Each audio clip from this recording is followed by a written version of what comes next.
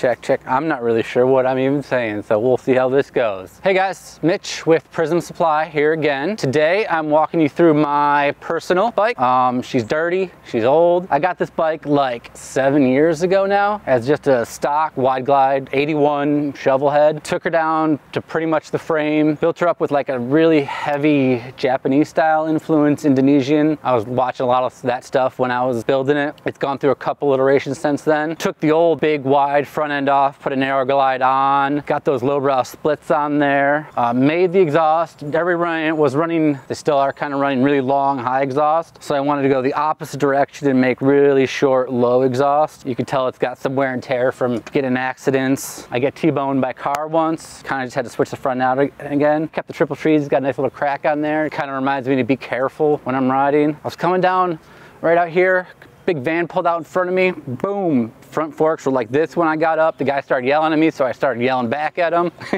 what else is cool and weird? I got these big like touring suspension on there, so I can kind of tune it with air. I've got it down to like 11, 8 PSI, so when I cruise, it's nice and cushy. Deep down, this bike is a city bike. I kind of want it comfortable, nimble, so I can jump around, kind of go through traffic, but I also wanted it so I can strap a bag to it, sit, cruise for a long time. It goes about 110 miles per tank, which is not bad. Made these handlebars up here in the shop one day I was bored, so I just bent up some handlebars, made them. Nothing we make. They're, I just kind of wing, winged all the uh, dimensions. Got this cool yellow light from Swap Meet somewhere, sometime. Kind of the only thing really left from the original bike I got. And this nice little piggy. I had to keep that on there for luck. You gotta have a hog on your hog. You can find all these little prism bits and bobs and prototypes on here. Kind of use this bike as a big testing ground for a lot of stuff. Oil cap, the mirror was a first thought here. Uh, we got an early iteration of the box style chopper light on the back back. When I bought this bike, the first thing I noticed when I was kind of tearing it down were these push rod covers. As long as I've been looking at bikes, I've never seen a hex pair covers before. So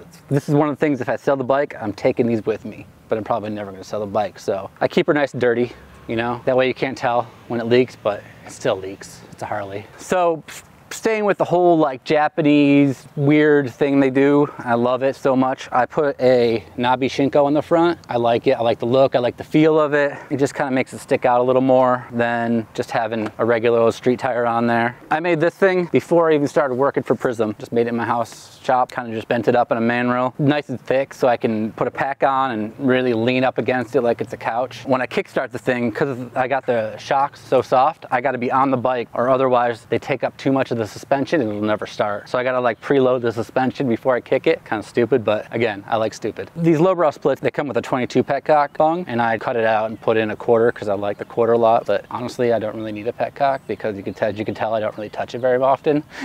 oh, I got this really cool derby cover because it is a 81, so it's 80 cubic inches. Uh, I found this because I want to keep a lot of cast cast feel on the bike and these are kind of kind of hard to come by not super hard but really like the look of them same with a couple other pieces on here just want to try to keep the cast look like that's what I try to do with this tumbled piece that we make or this cap. I like the look of stock stock castings. Castings are cool. Buy the psychic shifter. That's why we wanted to make the psychic shifters because castings are cool and if we can cast it in town and be all made within 10 miles, that's a cool casting. So you gotta start it, you gotta get on the bike,